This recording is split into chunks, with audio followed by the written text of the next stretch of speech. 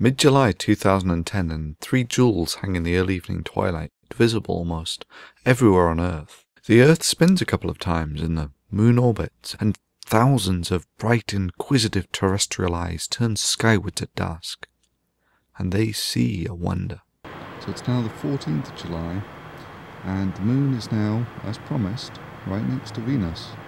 So that's the second and third brightest objects in the sky. You can see the Earth shine on the moon. And a little up there's Saturn. I can see it on the screen, you might not be able to. I'll get on the photo. and there's Mars. Oh, excellent, I've got them both. So there's all three planets.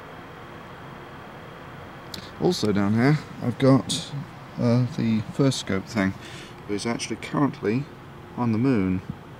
So I can actually change the contrast settings. Yeah, this does give you a reasonable feel of what you can expect to see with these things. Let's focus. That's not bad. Now the reason it's going all orange there is sort of legit, that if you actually look, the moon is sinking into the orange haze and all that sort of burnt out on the camera actually get the contrast right. The moon has actually gone all yellow. That's really the camera just can't quite hack it. Anyway, I'm going to get this thing on uh, Saturn and see what that'll do for us. Actually, it looks better than that through the eyepiece. That is Saturn through the Firstscope. 35 bucks.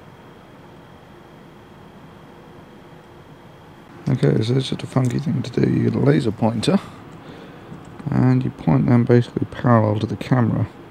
So what you'll find is you can actually point out things. So there's the moon, there's Venus, and up here somewhere, there he is, there's Saturn, which puts Mars just there.